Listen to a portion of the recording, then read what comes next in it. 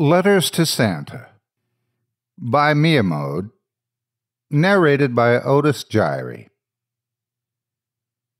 As a mail carrier, I see a lot of these letters, usually addressed to a Mr. Claus in the North Pole. Sometimes there's a stamp, sometimes there's not. I always make sure to grab these letters. I like keeping the spirit alive. I throw them in my bag and I move on. Whenever I return to my car, I like to look through them, uh, whatever special letters I've collected. It gives me an insight into what type of children live in these homes. The upscale neighborhoods hmm, ask for too much. The poorer neighborhoods ask for very little. Handwriting varies from neat bubbled letters with hearts dotting I's to messy scrawl, and spelling that either can be accredited to the little ones or children that don't do very well in school. On this run, a particular letter catches my eye, although it can hardly be called a letter.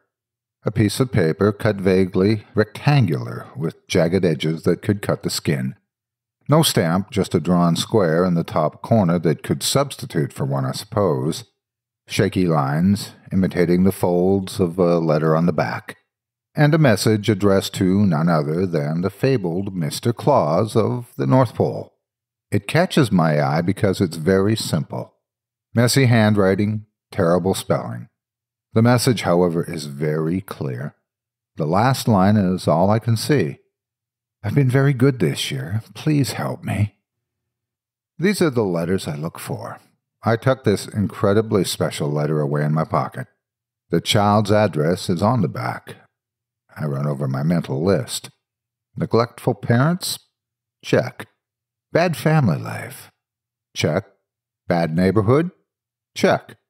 I peek up at the apartment door from where I'm parked. Easy getaway. Check.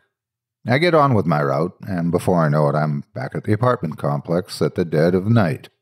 I've always prided myself on my efficiency and timeliness. It's three in the morning, and surprisingly, there's not a single soul in sight. I park close to the complex, but as far from a streetlight as I can manage. I pull the letter out from where it's been burning a hole in my pocket all day. It might be dark, but the address is very clear to me.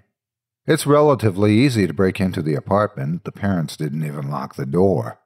A cursory glance around the room reveals empty bottles of alcohol and stains on a carpet that, at one point, must have been beige. this one won't be missed. I reach my target and they're asleep. I work fast, nonetheless. Tape over the mouth, a bag over the head, handcuffs. They only begin to stir when I'm down the street and they're in the back seat of my car. The place that I live is fairly secluded, and there's a very wonderful soundproof bomb shelter in the backyard. I thank whatever paranoid nut that lived here before me every time I bring a victim home. I sit them on the chair. They're struggling. I've worked with victims that like to squirm before, so it's not long before I've bound them to the chair. I pull off the cloth bag I've put over their head, and their eyes blink open. The shelter is bright. My instruments almost glitter in their mounts on the walls. I smile down at my victim. The fear in their eyes only reinforces how much I love my job. You've been very naughty this year, Mr. Meyer.